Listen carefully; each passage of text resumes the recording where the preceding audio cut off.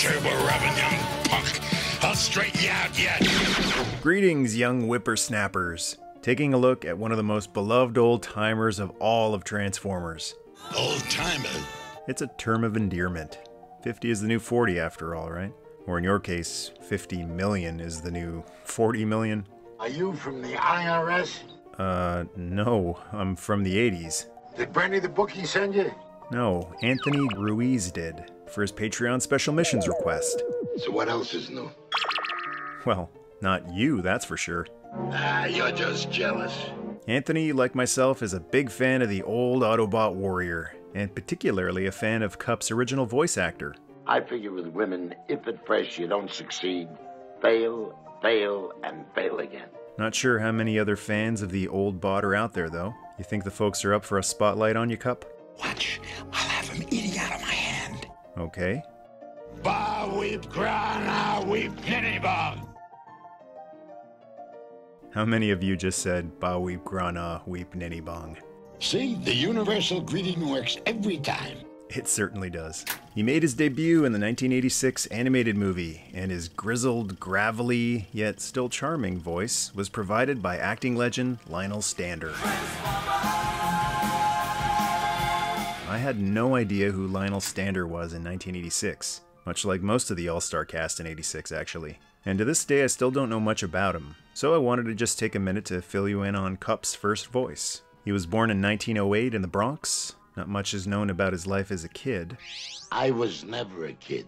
Oh, that's why. And he apparently appeared in a silent film, 1926's Men of Steel, when he was a teenager. He appeared in dozens of films over seven decades, including the original version of A Star is Born in 1937 as Matt Libby. 20,000 Santa Monica school children spelling out the word love. Still with his trademark gravelly voice even in his late 20s. But his best remembered role for many, other than Kup, is Max on the TV series Hart to Hart with Robert Wagner and Stefanie Powers, which ran from 1979 to 1984. By the way, my name is Max. I take care of both of them, which ain't easy. He won a Golden Globe for Best Performance by an Actor in a Supporting Role in a Series, Miniseries, or Motion Picture Made for Television in 1983. And the winner is Lionel Stander. I'd like to pay tribute to the creative talents. Kup's first toy incarnation was also released in 1986. And this is my original one. A little to the left. A little bit more. Ugh. Happy now? As you can see, he's been up and down the road quite a few times. Must have been a well traveled road. When it comes to Transformers, if I had my choice between an old beat up one and a brand new shiny reissue, for display purposes, I'd usually prefer the new looking one. Kup's an exception though, since the whole idea behind the character is that he's the antithesis of all of his surrounding Autobots. He's not new, shiny, mint condition. I actually love every scratch, chip, dent, scuff, loose limb, worn out sticker, and bit of dust on him. Yep, I remember the dust was so thick for Beta 4. Let's hold off on the war stories for now, old timer. Okay, okay. Okay, let's take a look at Kup's back of the box bio, courtesy of Botch the Crab. Allegiance, Autobot. Function, Warrior. The past is the greatest teacher. Kup is an old veteran warhorse with a thousand tall tales from his 10,000 adventures. He has a motto or word of advice for any situation, and he's as brave and loyal as they come. In robot mode, he carries an old style musket laser that shoots short bursts of metal corrosive hydrochloric acid. Range 5 miles. Speed 100 miles per hour. Kup sees himself as a seasoned campaigner with more knowledge and experience to share. Other Autobots aren't always receptive to his advice. Hey, Kup, don't you think we have better things to do now than tell old stories? Sometimes the bio from a G.I. Joe file card or Transformers tech spec card gets lost in translation to animation. But I'd say Kup's bio is pretty much 100% true to his portrayal in both the movie as well as Season 3 and Season 4 of the Sunbow series. One thing the bio doesn't mention, though, is all the languages Kup speaks. Three in total English, Spanish, Cerveza. That's as far as my Spanish goes. Beer, and how much is it? and of course, TV. I talk some TV. And now the news. Don't touch that dial. The toy didn't include Petro Rabbits, I'll give you petro rabbits. had to sneak that in there, but it did include the aforementioned musket laser, useful for fending off Decepticons and Sharkticons.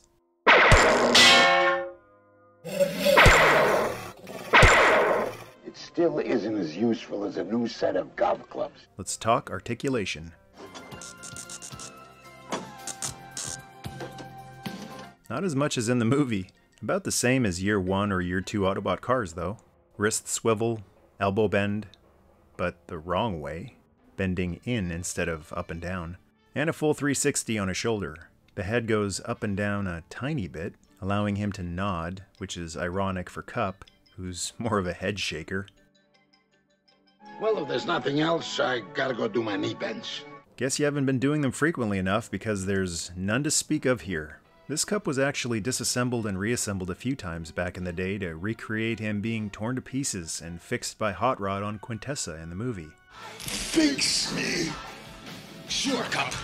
Right away. I think I got most of him back together. Of all the circuit glitch diode blowing dimwittery, you left a piece out. Ah, you're right. Looks like I lost an original screw and used any one that I could find to bolt the torso back on. I think it adds to his charm. Yeah, but I don't. Kup, Blurr, and Hot Rod were classified as Autobot cars, but they were upscaled from their 84 and 85 counterparts. The interesting thing about Kup is, unlike Hot Rod and Blurr, he's got a giant piece of die-cast metal on him. Just as much as any 84 or 85 Autobot car, if not more. So you'd think the upsizing of the cars was a result of the decrease in metal used, but not in Kup's case. The diecast is a perfect fit for the character, making him fit right in with the old guard, despite being a new movie character. Okay, anything else to show off? Yeah, the truck. Right, let's transform him into truck mode. I can't transform. That's because you've got an energy shackle on you. Hi, Mom. Hi, Dad. Remember this guy? Remember? 1986. Pepperidge Farms remembers. So I've transformed this guy so many times in my life, I feel like I can do it with my eyes closed, which is what I'm going to try right now. Actually, I'm going to try a literal blind transformation. All right, so first thing is you collapse the feet in, and then you're going to pull the hips out It's all in the hips, you know. collapse the cab to hide the head. Feel the hip moving out like that.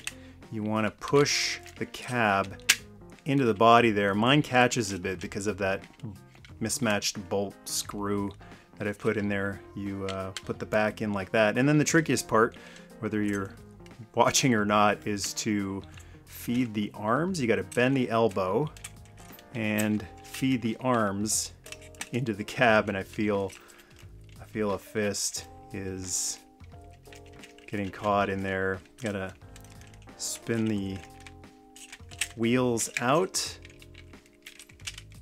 and feed them in there and voila truck mode Well, what do you think? it's a cybertronian truck not really sure what it's supposed to look like just like all cybertronian alt modes does it remind you of anything Nope. Never seen anything like this before. I've heard it called a futuristic truck, but that doesn't make much sense for a grizzled old character. I mean, he should have been an old F Series Ford pickup truck if that's what they were going for. Range on this truck? Probably two miles. Two miles. Who said anything about two miles? I'm up to two blocks. Unfortunately, with the 86 version, there's nowhere to put his weapon. Any ideas, Kup? You really want me to tell you where to put it? Uh, keep it family friendly, pal. In the hall closet, way in the back. That's pretty much your only option. Unlike Hot Rod, who had a hole in his engine where you could plug one of his weapons into, Kup sort of has the back of the truck, which doesn't have a gate to hold anything in it. Seems like this lip should have been facing the other way.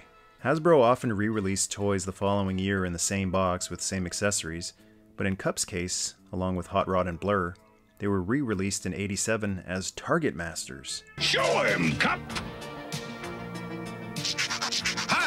Recoil. This time, the back of Kup's truck had a hole which could hold his Target Master, Recoil, in vehicle mode. I think he looks better without a weapon mounted, though. Maybe you're right. I won't wear it. See what I mean about a brand new, minty reissue Kup? A fresh coat of paint just doesn't work on this guy. What do you know about it, lad? I just got this feeling. In season 3 and 4 of the Sunbow series, the role was taken over by this kid, John Stephenson. Ah, my name's Teaspoon, and I'm Cybertron's chief dishwasher. who eased right in thanks to his history of portraying older and more ornery characters in animation, like Mr. Slate on The Flintstones, Flintstone, you're fired! General Flag on G.I. Joe, Affirmative, Duke. You're way ahead of me, as usual. and Alpha Trion on Transformers. A second golden age of Cybertron is almost at hand. Hey, he was Professor X on the X Men series too. Cool. And that's 86 Kup. Not the end I'd wish for that. Ah, come on, we covered plenty of stuff today. I mean, when was the last time you had this much attention? Not lately. Oh, that's sad. Well, you must have had a lot of attention when the movie first came out, right? I'm trying to remember. There were an awful lot of casualties that day. that line always cracks me up. Thanks, Anthony, for the request, and thank you to the amazing folks who have joined the Patreon tribe, who bring all Patreon power, And with it, all hope. and to all the channel members for hitting the join button. Oh. That too. Thank you for your support as well. Feel free to leave an old time timer thought in the comment spot. Don't act hostile. Yes, this old coot has seen enough battles. This reminds me of the battle on Alpha 9. The Petro Rabbits Oh, were... here we go. And to join the tribe, hit subscribe. Till all are old and fun.